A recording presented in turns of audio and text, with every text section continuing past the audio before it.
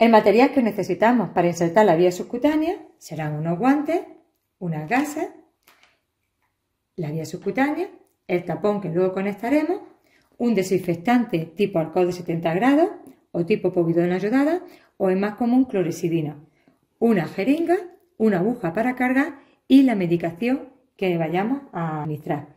Por otro lado, si queremos poner sueroterapia, necesitaremos el suero, el sistema para regular también la velocidad del suero y un apósito transparente para fijar la palometa. En primer lugar, nos lavaremos bien las manos y una vez que nos lavemos las manos, nos ponemos nuestros guantes.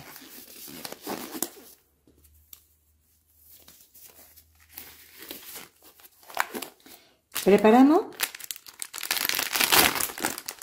nuestra gasa con clorexidina, como hemos dicho, o povidona ayudada o alcohol de 70 grados. Prepararemos la vía subcutánea. La vía subcutánea está compuesta de este dispositivo más una largadera. ¿Qué tendremos que hacer primero? Retiraremos este sistema de seguridad simplemente apretando ambos lados hacia el centro y los dejaremos preparados aquí. Retiraremos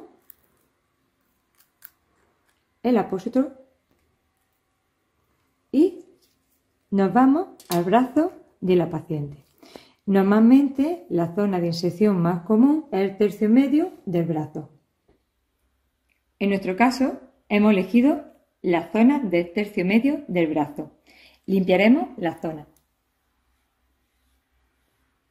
Una vez que tengamos limpiado el dispositivo, os dais cuenta de que tiene una flecha, que es lo que se dirigirá hacia la parte de la mano.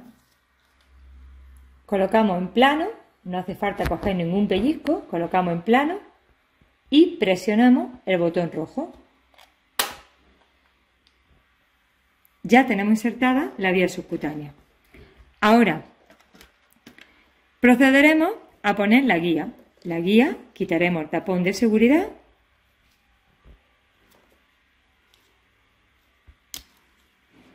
que encajará perfectamente aquí.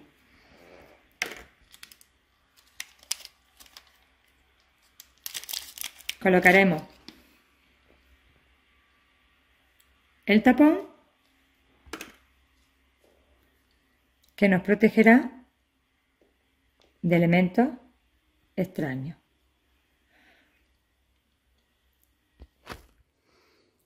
Cogeremos la jeringa y la aguja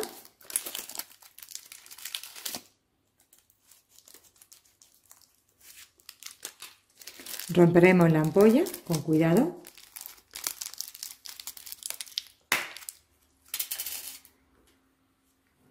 Quitaremos el tapón de la aguja para cargarla.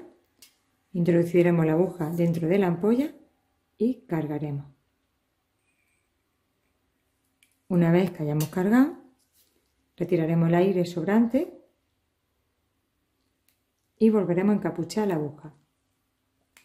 Una vez encapuchada, giramos y retiramos la aguja y nos quedaríamos con el cuerpo de la jeringa. La administración de la medicación hay dos fórmulas. Tenemos el tapón y tenemos la jeringa. En la jeringa, como si fuéramos a escribir, apretamos y giramos. Y una vez que hemos girado, vamos introduciendo lentamente la medicación. Esta es una fórmula o bien desenroscamos el tapón, conectamos la jeringa y administramos la medicación lentamente. Una vez que hayamos terminado, quitamos la jeringa y volvemos a poner el tapón. Para darle más autonomía al paciente, podemos quitarle la guía. ¿Y cómo lo haríamos?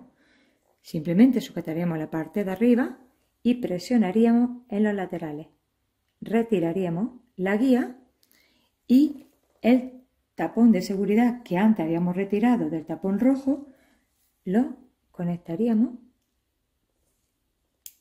de esta manera De esta manera tendríamos la vía subcutánea que nos daría mucha independencia y por otro lado tendríamos la guía que volveríamos a colocarle su tapón de seguridad y lo guardaríamos para el caso de que tuviéramos que administrar medicación.